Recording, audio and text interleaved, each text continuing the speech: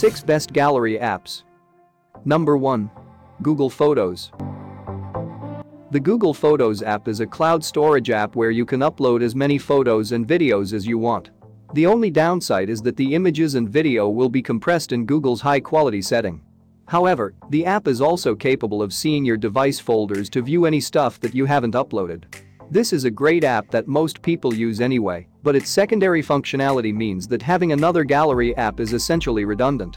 If you use Google Photos, you might as well use it as your gallery app too.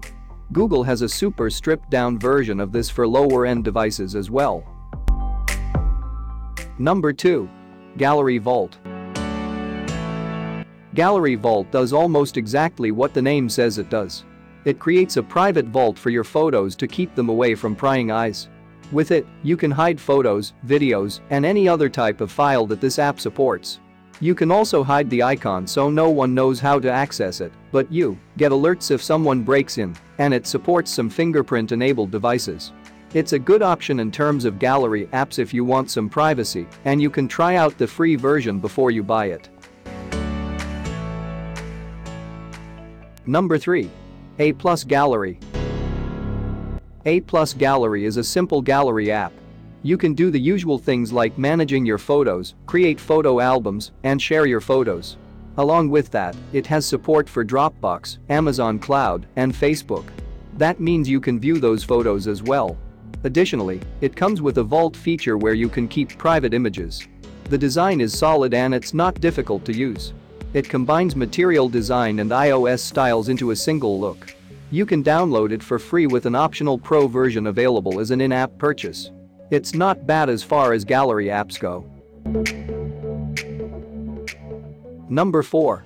Simple Gallery Simple Gallery is a highly customizable offline photo gallery app in addition, you get an image and video search, support for 32 languages, a favorite function for quick access, a recycle bin to recover lost photos, and plenty of ways to filter your massive collection. There is also a security feature with a fingerprint unlock for added privacy. There was a free version of the app. However, only the premium version gets updates now. That's not a big deal because it's open source and it supports most types of photos and videos. Number 5. Piktures. Piktures is one of the simpler gallery apps. However, that doesn't mean it has no features. You can sort by various things, such as location, and you can hide albums if you don't want people to see them. It works best on larger screens. That makes it decent for large phones or tablets. There is also GIF support for those who enjoy that.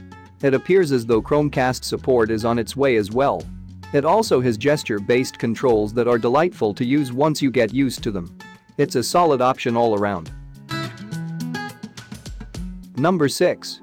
Slidebox With the Slidebox, you can organize your gallery photos with quick gestures. Scroll through your photos in full screen and swipe up to delete unwanted photos or pick an album to sort into. Compare similar duplicate photos and quickly and delete them with a swipe. It's that easy. The Slidebox does not keep copies of your album's photos. Deleting photos from your Android gallery will make it inaccessible from the Slidebox. If you enjoyed this video and would like to see more, remember to hit that subscribe button. Goodbye for now.